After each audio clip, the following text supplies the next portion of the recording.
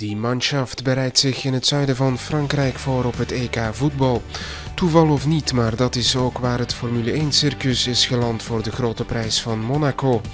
Michael Schumacher en Nico Rosberg brachten een bezoekje aan hun voetballende collega's. Ja, ist natürlich schon äh, was Schönes, äh, zum einen alte Bekannte wieder zu treffen, weil man trifft sich immer wieder. Und gerade Lukas, äh, mit dem ich mich privat extrem gut verstehe. Und jetzt treffen wir uns eben hier an, an seinem Metier mit, mit dem Ball. Und gleichzeitig können wir nachher auch ein bisschen Spaß mit der neuen A-Klasse haben. Und das als Mischung ist sicherlich eine schöne Abwechslung.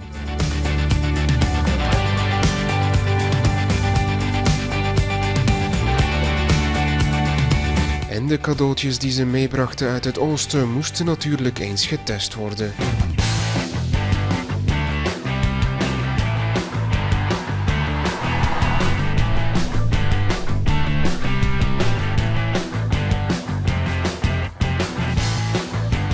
Zeigen wir dem, äh, dem Michael man fährt. Ne?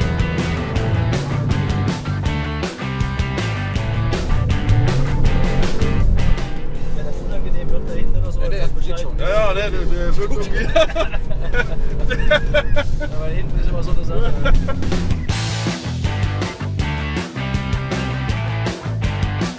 Wagenziek en vol adrenaline mochten de spelers terug op hun vertrouwde grasmat. Maar ook Schumi en Rosberg kunnen een aardig balletje trappen. Ah, es war ein schöner Tag bis jetzt. Ja. Das ist natürlich, ich bin ein großer Fußballfan und da ist es äh, ganz toll, mal bei der Nationalmannschaft dabei zu sein und mal ein bisschen äh, die Spieler nochmal äh, zu treffen, ähm, mit denen so ein bisschen zu plaudern, was jetzt ansteht bei denen auch trainingsmäßig und, und wie sie sich jetzt vorbereiten auf die große EM.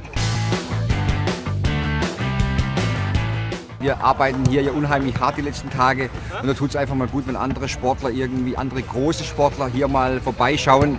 Und am Sonntag dürfen wir ja auch nach Monaco zum, äh, zum Formel 1 und das ist natürlich schon auch für alle, alle fiebern darauf. Ich habe manchmal das Gefühl mehr wie auf das Spiel in der Schweiz gegen ba äh, in Basel gegen die Schweizer.